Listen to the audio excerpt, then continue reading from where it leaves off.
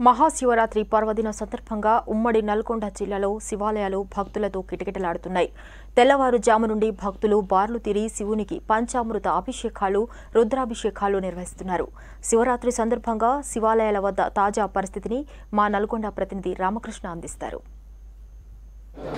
మహాశివరాత్రి పర్వదినాన్ని పురస్కరించుకొని ఉమ్మడి నల్గొండ జిల్లాలోని శివాలయాలతో పాటు అన్ని దేవాలయాలు కూడా భక్తులతో కిటకిటలాడుతున్నాయి. ఉదయం నుండి భక్తులు శివాలయాల్లో బారులు తీరి శివనామస్మరణతో శివుని స్థుతిస్తున్నారు. ముఖ్యంగా ప్రధాన ఉమ్మడి నల్గొండ జిల్లాలో ఉన్నటువంటి ప్రధానమైనటువంటి శివక్షేత్రాలు పానగల్ ఛాయా సోమేశ్వరాలయం పచ్చల సోమేశ్వరాలయంతో పాటు యాదగిరి లక్ష్మీనరసింహస్వామి దేవాలయంలో ఉన్నటువంటి శివాలయంలో కూడా ప్రత్యేక పూజలు జరుగుతున్నాయి. ముఖ్యంగా సూర్యాపేట జిల్లాను చూసుకున్నట్లయితే పిల్లల మరి దేవాలయంతో పాటుగా పురాతన ఆలయాలన్నింటిలో కూడా పెద్ద ఎత్తున ఈరోజు ఉదయం నుంచే శివునికి ప్రత్యేకంగా అభిషేకాలు రుద్రాభిషేకాలు చేస్తూ భక్తులు తమ మొక్కులు చెల్లించుకుంటున్నారు. శివరాత్రి పర్వదినంలో లింగోద్భవ కాలంలో శివుని పూజించడం ద్వారా పూర్తి స్థాయిలో అంటే మన చేసినటువంటి పాపాలు హరించుకుపోవడమే కాకుండా పూర్తి స్థాయిలో భగవంతుని కృప కూడా పాత్రలవుతామని ఒక నమ్మకంతో భక్తులు పెద్ద ఎత్తున తెల్లవారుజామున ఐదు గంటల నుండి దేవాలయాల్లో బారులు తీరి శివునికి ప్రత్యేకంగా అభిషేకాలు చేసిన పరిస్థితి ఉంది. మహాశివరాత్రి పర్వదిన సందర్భంగా వచ్చే భక్తులకు కూడా ఎక్కడ కూడా ఎలాంటి ఇబ్బందులు తలెత్తకుండా ఉండడం కోసం దేవాలయాల కమిటీల ఆధ్వర్యంలో పూర్తి స్థాయిలో ఏర్పాట్లు చేపారు చేపట్టారు.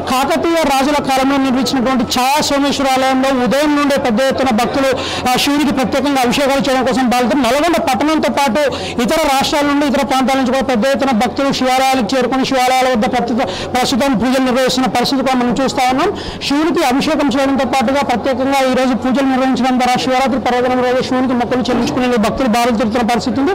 అయితే దేవాలయాల్లో మాత్రం వచ్చే భక్తుల సంఖ్య అంటే దాదాపుగా ఉదయం పదిన్నర పదకొండు గంటల కూడా భక్తులు ఇంకా ఒక వస్తాలో వచ్చే పరిస్థితి ఉన్న క్రమంలో ఎక్కడ కూడా ఎలాంటి అవాంఛనీయ ఘటనలు చేయకుండా పోలీసులు కూడా పూర్తి స్థాయిలో బందోబస్తు ఏర్పాటు చేయడంతో దేవాలయ కమిటీ ఆధ్వర్యంలో కూడా పూర్తి స్థాయిలో ఏర్పాట్లు చేశారు. ముఖ్యంగా క్యూలైన్ల ఏర్పాటుతో పాటుగా ప్రసాద పంపిణీ వద్ద ఇతర ప్రాంతాల వద్ద కూడా ఎక్కడ కూడా తొక్కిసాట జరగకుండా అవసరం అన్ని ఏర్పాటు చేశారు. ప్రస్తుతం మనతో పాటు చాలా సమస్యలు దేవాలయ చైర్మన్ గంటల అనంతరెడ్డి ఉన్నారు. చెప్పండి శివరాత్రి సందర్భంగా భక్తులకు ఏ రకమైన ఏర్పాట్లు చేశారు? ఇక్కడ సాధారణంగా శివరాత్రికి ఏ స్థాయి భక్తులు వచ్చి మొక్కులు చేయించుకునే పరిస్థితి ఉంది?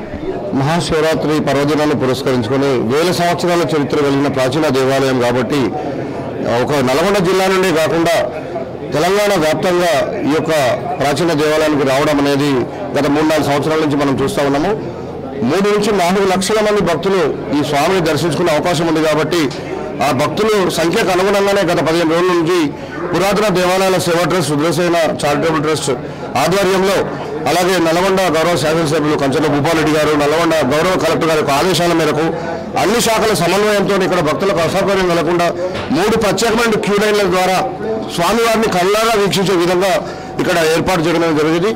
ప్రత్యేకంగా శ్రీ శ్రీ ఆదిశంకరాచార్య శారదా లక్ష్మీ నరసింహ సరస్వతి పీఠం చిక్మంగళూరు నుంచి విచ్చేస్తున్నటువంటి ఆనవాయితీగా వస్తున్నటువంటి ఆ యొక్క పార్థివలింగానికి ఇప్పుడే మహాన్యాసపూర్వక రుద్రాభిషేకం తెలంగాణ మూడు గంటల నుంచి ఇప్పటివరకు పూర్తి చేసినాము. సాయంకాలం నిమజ్జన కార్యక్రమం ఉంటుంది. సాయంకాలం ఏడు గంటల ముప్పై నిమిషాలకి శివపార్వతుల కళ్యాణం కూడా ఏర్పాటు చేశాము. జాగరణ చేసే భక్తుల కోసం ఇక్కడ సాంస్కృతిక కార్యక్రమాలు బుర్రకథ లాంటి కోలాటం లాంటి సాంస్కృతిక కార్యక్రమాలు కూడా ఏర్పాటు చేయడం అనేది జరిగింది.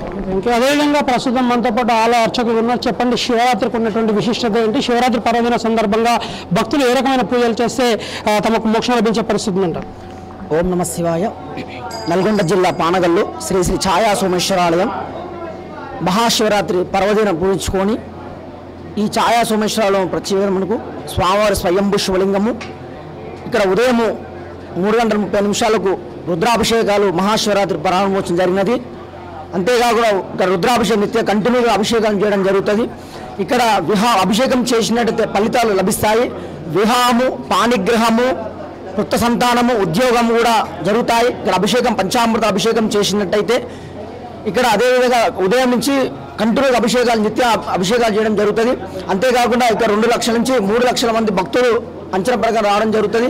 మొత్తంగా ఉమ్మడి నల్గొండ జిల్లాలోని శివక్షేత్రాలు మొత్తం కూడా శివనామ స్మరణతో మారుమోగుతున్నాయి ముఖ్యంగా చెరువుగట్టుతో పాటు సూర్యాపేట జిల్లాలోని పిల్లలు మరియు యాదాద్రి భువనగిరి జిల్లాలో తెలంగాణ తిరుపతిగా పేరుగాంచినటువంటి యాదగిరి లక్ష్మీనరసింహస్వామి దేవస్థానం శివ శివరాత్రికి సంబంధించి ప్రత్యేకమైన ఏర్పాటు చేయడంతో పాటు అక్కడ ఉన్నటువంటి శివాలయంలో ఒక ప్రత్యేకమైన ఏర్పాటు చేశారు. ఈ రోజు రాత్రి శివ కళ్యాణానికి సంబంధించి పెద్ద ఎత్తున భక్తులు వచ్చే పరిస్థితులు ఉన్న నేపథ్యంలో అన్ని శివాలయాల వద్ద కూడా పెద్ద ఎత్తున ఏర్పాట్లు చేయడంతో పాటు శివ కళ్యాణానికి భారీ ఏర్పాట్లు చేసి ఆ, ఎక్కడ కూడా ఇబ్బందులు తలెత్తకుండా భక్తులకు సంబంధించి అన్ని రకాల సౌకర్యాలు కూడా దేవాలయ కమిటీలు తీసుకున్న పరిస్థితి ఉంది.